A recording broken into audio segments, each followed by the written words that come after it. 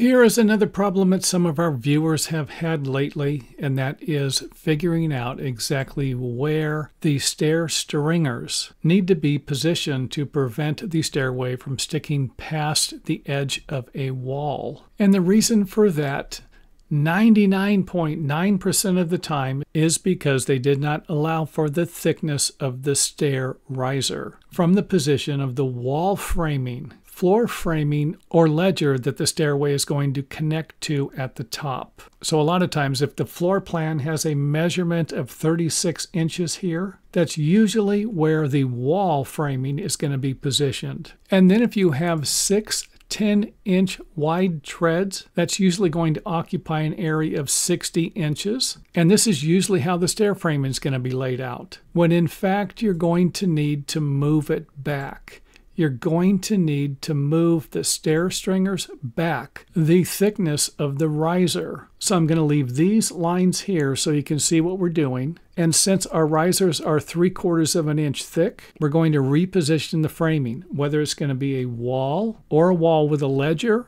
or a stairway that's going to connect directly to the floor joist. And this is going to be a very difficult thing to fix if you end up making the mistake. So pay attention, and if you have to, watch the video a couple of times until you can wrap your mind around this. Now, what if you have a nosing on the stairs? Well, you guessed it. You're going to have to move the flight of stairs back even further. So not only will you need to deduct for the thickness of the riser, you will also need to deduct for the length of the overhang. And in our case here, we have a one inch overhang, three quarter inch thick risers. So we will need to move our wall framing back an inch and three quarters to end up with the measurement that we're going to need for our floor landing on the plans, along with the six 10 inch treads that we're going to be using. And hopefully this makes sense. If it does not for some reason, then I would suggest watching the video again. And if for some reason it still doesn't make sense, feel free to leave any questions you might have about the video in the comment area.